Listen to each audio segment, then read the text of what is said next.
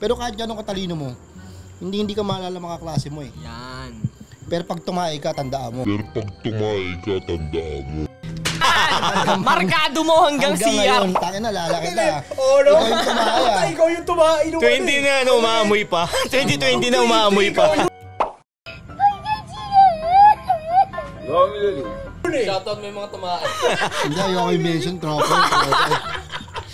tropa.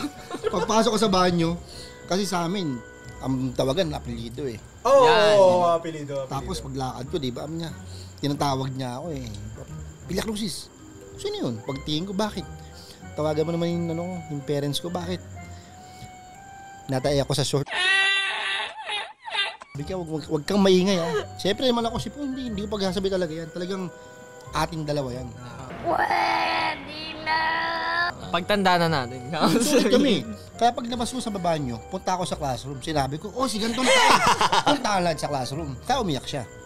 Ah. Pero naging tropa, tropa ito. Ngayon, tropa mo pa rin siya. Tropa, tropa. Sampalin kita sa harap ng 2,032 tao eh. tropa, tropa. Parang Tang- hindi ko na ino-open yun. 2023, puta, umaamoy pa rin. Hindi, Oh, patron, hindi. Huwag daw, huwag daw, huwag daw, huwag daw. Wag, wag, wag, tropa talaga ito. Privacy, privacy. Ano namin yun?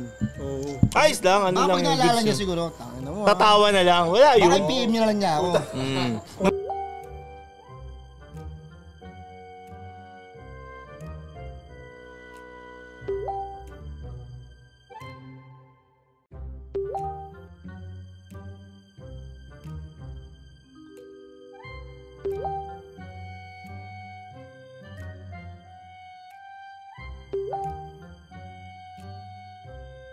Mumurahin ka lang, okay na yun. Uy, ako yung pinag-uusapan niyo sa podcast.